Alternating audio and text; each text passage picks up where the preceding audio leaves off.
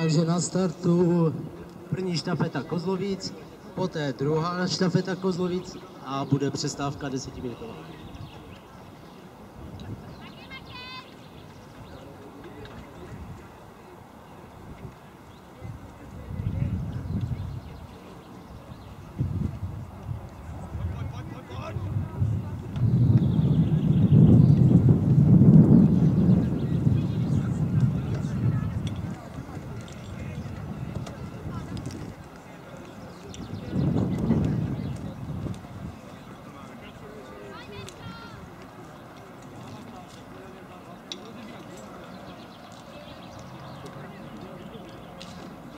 Lučina měla čas 1.23.579, ale pokus neplatný.